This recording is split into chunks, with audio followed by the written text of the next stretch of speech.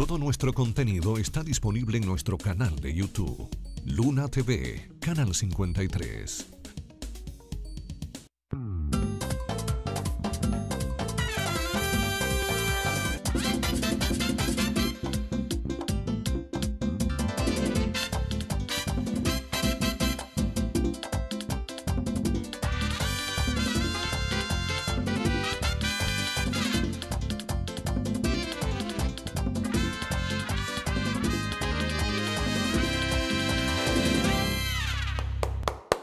Llegaron ellos, los más esperados, los verdaderos creadores de opinión.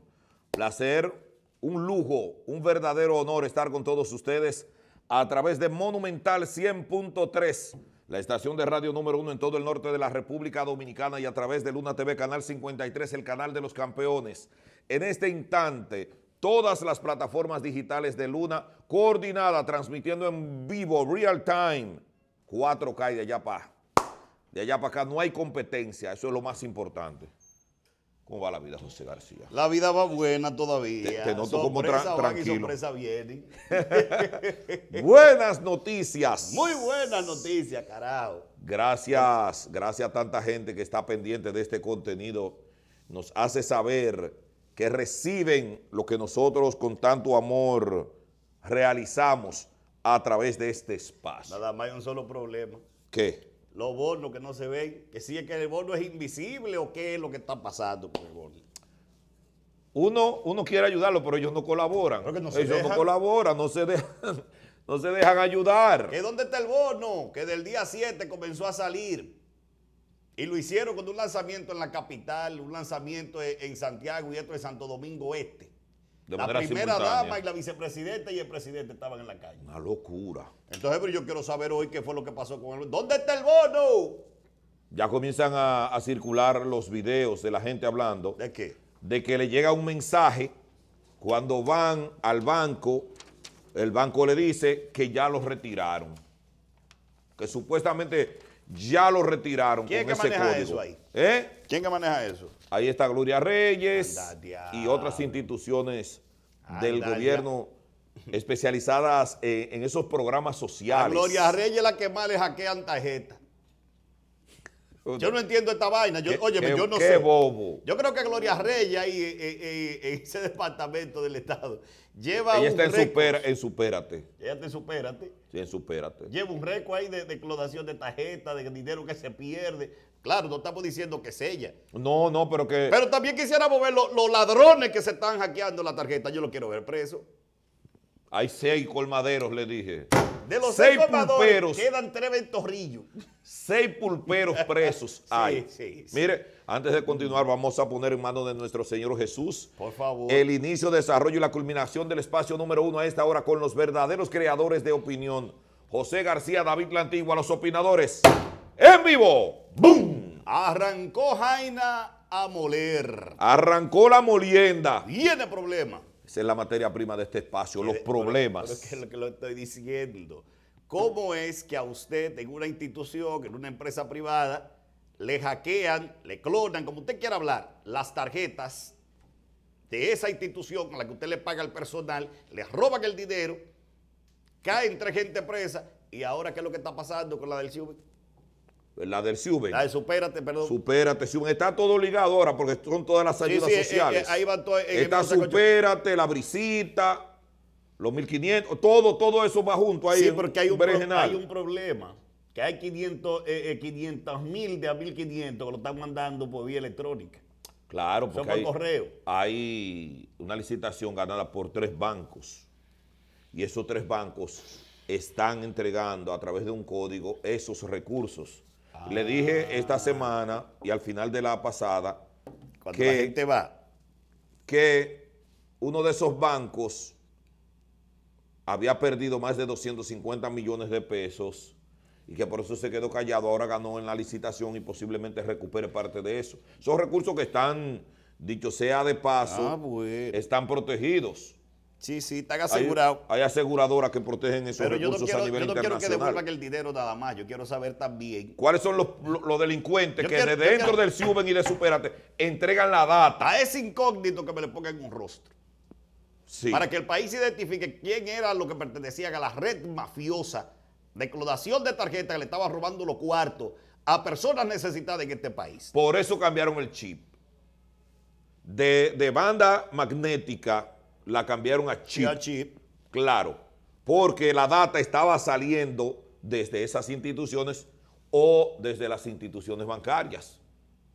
Eso no se ha dicho. No, no, no, no, El no, Ministerio Público espera, espera. inició una investigación y se ha quedado en el aire. Entonces tú me estás diciendo a mí que eh, los datos, Lo maneja el Suben, Supérate y lo manejan los bancos. pero salió del CIUBEC o salió del banco. Eso es lo que no sabemos. Pero ya el tiempo suficiente para haber dicho eso. Hay una incógnita. Lo que hay son seis colmaderos, seis pulperos presos. Más nada. Seis pulperos, que yo no creo que están los seis presos. No, pero eso fue lo que dijeron al principio, que había una investigación. una supuesta banda. Ay, Eh, Gloria Oye, una Reyes. banda que se lleva 500 millones de pesos de que, en un verifón. Y que- que en, un un, tipo- co- en un colmado en Alto del Yaqui y la Canela. Pero agarran el tipo que fue a ofrecerle los 800 mil pesos no, hombre, José, tú sabes que en eso, tarjeta que iban a pasar de ellos. eso es un relajo, eso es un relajo. ¿Eh? Entonces, yo no sé cómo es que hay funcionarios que le, le ha- han caído la brasa de yagua que le dicen a eso.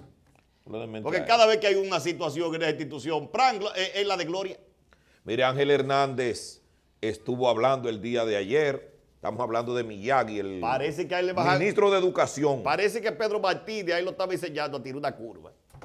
Porque tiró una curva ayer. No, hombre, es un sinvergüenza para mí. Me pidieron que no lo tratara de esa manera, pero yo no estoy tratando a la persona, al ni ministro. al dueño de Guapa. Estoy hablando del ministro de Educación, que es un empleado, funcionario público que cobra de los impuestos que yo pago. A ese sinvergüenza, Truán, que es el ministro, no la persona, quien está dirigiendo el ministerio. Dice él que su institución ha dejado de ganar dinero porque a él lo nombraron ministro y que en un solo contrato perdió 50 milloncitos, pero que eso no es nada. Claro que no es nada para ti, hermano mío, porque tú eres un multimillonario que tiene más de 30 años medrando en educación, haciéndote rico con la educación dominicana, que tú llegaste allí y que nosotros te defendimos como un técnico capacitado. A capa y espada. lo A capa y espada este programa, desde que te nombraron, lo dijimos, que tú tenías conocimiento, el know-how, que tú tenías la capacidad de sacar hacia adelante con ese 4% la educación dominicana, pero ha sido un fiasco. Por eso le hemos pedido perdón a la patria, perdón al pueblo dominicano porque te defendimos Fallamos. y fallamos. Hemos hecho un mea culpa en el caso de Ángel Hernández, que viene de los litorales de Milagros Ortiz Bosch, la subsanable Milagros Ortiz Bosch. Esa señora es la madrina de Ángel La Hernández. encargada de ética gubernamental. Ética, ¿Qué ética puede tener Milagro Ortiz desde Ah, ayer? ¿cómo que No me hable de ética? La, de la, la que pasó con más y dejó más huella en el Ministerio de Educación de este país. Voy a hacer un minuto de No, no, silencio. sí. Voy a hacer un minuto de silencio por eso que usted acaba de decir. Milagros Ortiz es una de las madrinas, al igual que Raquel Peña, la vicepresidenta. Por eso Ángel Hernández sale con su pechito y dice que va a someter a todo aquel que en la prensa se atreva a señalarlo por actos de corrupción. Pues mire, enviar contratos, gestionar contratos desde educación para su universidad, esos son actos reñidos con la ley. Y la ley es clara. Tenemos a Ángel Hernández dando declaraciones, unas declaraciones aéreas, Sí, sí. No, no, pero totalmente aéreas. parece que Pedro Martínez lo enseñó a hacer un lanzamiento, metió una cosa, porque metió una ahí. ¡fa! Pero vamos a ver ese video, señor director. Regresamos ahora. Dele. He sido celoso defensor del dinero que la sociedad y el Estado invierten para mejorar la calidad de la educación. Sé lo que me ha generado enconos y ataques de algunos sectores económicos y también políticos de la sociedad dominicana. Los ataques relativos a acuerdos de trabajo entre INAFOCAN y la UAP tienen que ver muy específicamente con la oposición que hacen algunos sectores de la sociedad dominicana a los cambios y reformas introducidos en el actual gobierno, en la conducción del Estado y muy específicamente en lo que concierne a este Ministerio de Educación. Lamentablemente, se ha involucrado los temas de la educación al debate electoral y a la política que se desarrolla en la actualidad. Eso pudo comprobarse muy fehacientemente con algunas opiniones relacionadas con los avances precarios, pero avance al fin, de las pruebas PISA. Es bueno indicarles que quien les habla es un partidario fiel y defensor de las libertades públicas y también de todo lo que tiene que ver con la libertad de prensa y de expresión que es característico de una sociedad democrática. No dijo absolutamente nada. Espero, Dijo que sí, ¿qué dijo? espero que comiencen a través de redes sociales los paladines de la justicia y de la lucha contra la corrupción a decirle a Ángel Hernández, ministro, duerma con ropa. Ministro, duerma con ropa. Duerma con ropa que el bloque de búsqueda de la Procuraduría General de la República se le puede tirar en cualquier momento. Oye, pues tú estás soñando. Eso hay que esperar, eso hay que, esperar, es eso hay que, esperar que salga el, P- el PRM del poder. Ese es mi de deseo, que el Ministerio Público Independiente le diga a Ángel Hernández que duerma con ropa, No, que primera- cualquier madrugada No, lo primeramente pueden tiene, despertar. Primeramente tiene que haber una acusación formal. en segundo lugar, tiene que haber prueba de los errores que se han cometido. Digo, llevado a la Procuraduría y al PETCA. y que se determine La que hay un ilícito, que hay un ilícito ahí, ¿verdad? Y solicitarle a un juez una orden de allanamiento y de apresamiento y fuego a la lata de una vez. Antes de la pausa, vamos a dejar sobre la mesa el tema de Jan Alain. Ay, por Dios, que El tema de. Jan Alain, yo tengo sé que este- usted está- Tengo este hocico, como Así, dicen en el como campo, como un tirador, eh, pipá, loco por tirar y no puedo. Jan Alain Rodríguez. Se lo dije a usted y se lo dije al país. Eso es un lobismo que ha hecho ¿Qué es lo que es eso? El Ministerio Público Independiente. La- no me diga que el, invi- que el Ministerio Público Independiente de este país influye hasta, No, no, a- no, hasta, no, eh, eh, eh, yo no he dicho que influye.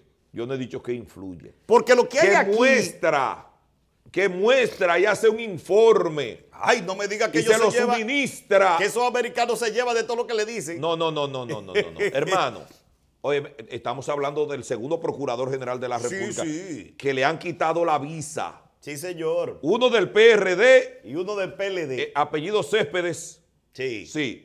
Y este señor Jean Alain Rodríguez, pero a Jean Alain se lo quitaron, le quitaron la visa a la mujer y a los hijos. A todo el mundo. Es que no quieren nada que entre para allá. eh. Ni las raíces. Pero esos niños, niños menores, No, pequeñitos. no, no, porque es que el ADN de hombre. Yacalá y Rodríguez anda ahí. No, hombre, José. Es que ni el ADN de esa gente, dicen los americanos. Nosotros no queremos darle refugio a nadie que haya atentado contra un país. Acompaña a Félix Bautista, a Ángel Rondón y a Qué ese señor. No, no, falta y otro. otros jueces, otros jueces también. fa- Falta otro ahí. ¿Cuál es el otro? El que estaba en la Junta, ¿cómo se llama? Ay, Es Rosario. ay, Rosario Márquez. Y Rosario más que aparece ahí entre el Sí, grupito. pero no tiene nada que ver con, con corrupción. Aquí no sé qué fue lo que pasó, porque fue la, la- la embajadora de, la- de- de- de- los Estados Unidos en el país, fue que fue a la Junta Central Electoral y le dio a él conocimiento que le habían eliminado la visa. Claro, pero e- eso fue para la época en que se estaba conociendo la ley 163-13, me parece que es. 168-13, sobre la regularización y naturalización de haitianos. Sí, sí. Y que él, como estaba al frente de la Junta que maneja el registro civil dominicano, Yo no sé. le dijo, ah, esos, esos no son dominicanos. El Departamento de Estado quería que reconocieran a todos esos Quedaron haitianos nacidos en República Dominicana, Quedaron de dar pero que sus padres los Rosario dos eran Márquez haitianos. Y nos la han dado. Y en Él segundo lo dijo lugar, con tiempo y, eso. a- y al, al otro muchachito de allí, de, de, de Leonel Fernández, ¿cómo que se llama ese señor? Félix el príncipe de San Juan de la Maguana. Ay, ay, al príncipe, que hasta le congelaron un cuarto allá en los Estados Unidos que tenía. Le bloquean la cuenta. eso fue en, el, en el 2017 Sí. por el caso de Haití. La Sí. reconstrucción de La Haití con sus de Haití, empresas. porque eh, eh, la, gran mayoría de, de empresas constructoras de él estuvieron allá. Sí, Era Martelly, presidente de Haití. correcto. Eh, vámonos a la pausa. Vamos. El caso es que Jean Alain, el pobre, Qué ahora, ahora mismo está entre la espada y la pared. Ahí no vino Fue una comisión. juicio. Y no vino una comisión de la ONU aquí a hablar eso disparate. fue, por eso fue que le tumbaron e- ese espectáculo que él tenía.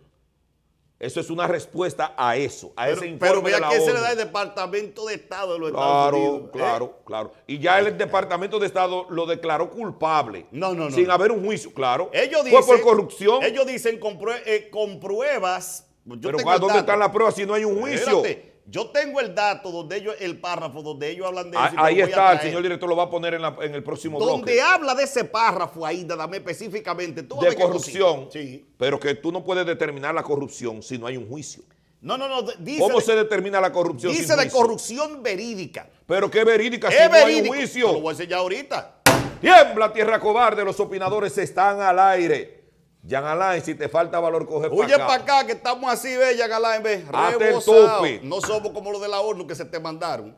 Y otra cosa, producimos en cantidad industrial. Pero hay que ir allá donde Cruz y Minian primero. Porque es un certificado con tiempo que se va de vacaciones, Cruz Jiménez. Sí, eso hasta el día 15 que van a estar dándole el chin de soporte ahí eh, en la clínica de Jiminian. Volvemos. Dale ahí. Uy.